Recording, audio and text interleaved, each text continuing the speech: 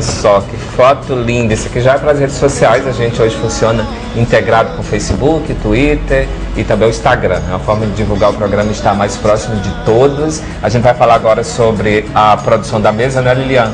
Que tem um toque especial do Osni. E vocês têm tudo isso aqui, né? Coelhos, né? Com essa temática que possibilita uma mesa lindíssima.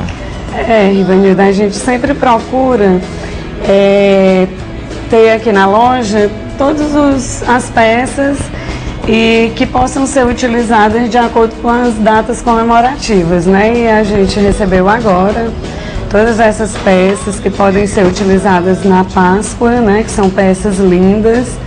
E agradecer ao Osmi, né? Que um toque especial dele hoje aqui, ele não pôde vir, mas hoje pela manhã ele veio e arrumou toda preparou toda essa ambientação. Você né? viu o, o, ovo de Páscoa que te espera aqui? Lindo. Esse ovo de colher?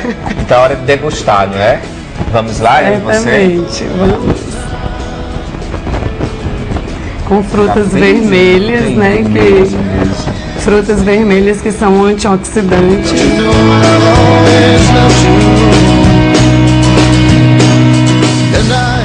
Que delícia, né? Sabor Delicioso. especial. Tem muito amor em tudo isso, né? Tá aprovadíssimo, viu, Luiz? Então,